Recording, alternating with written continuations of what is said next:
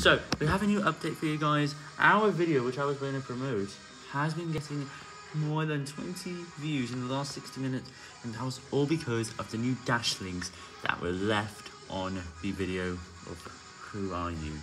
It has 18 million views. I'm not sure what's causing it to blow up here, but I decided to promote on that video, even though it had been over a month since that video was published, and that was because it was making a huge amount of traffic.